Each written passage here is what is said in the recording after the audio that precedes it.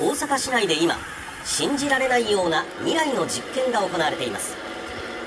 電気自動車が充電されていますが実はこちらの電気水と大気中の二酸化炭素から作られているんです。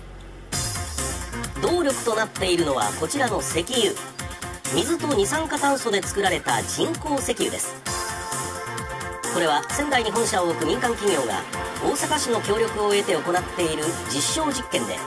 今日報道陣に公開されました。特殊な光触媒を使って水と大気中の二酸化炭素から化学反応を起こしやすいラジカル水というものを生成。そこから人工石油を作り出します。この人工石油は燃料として使う時に二酸化炭素が排出されますが作る時にも二酸化炭素を利用するためプラスマイナス気になるのはお値段。1リットルあたりいくらで作れるのでしょうか？日本中で売られてる軽油が1リッターあたり140円台ですよね。だから十数分の1でできているということになります。つまり1割以下でできればこれはもう激安と言えるんじゃないでしょうかね。この激安の訳実は原料が水と二酸化炭素だからというだけではありません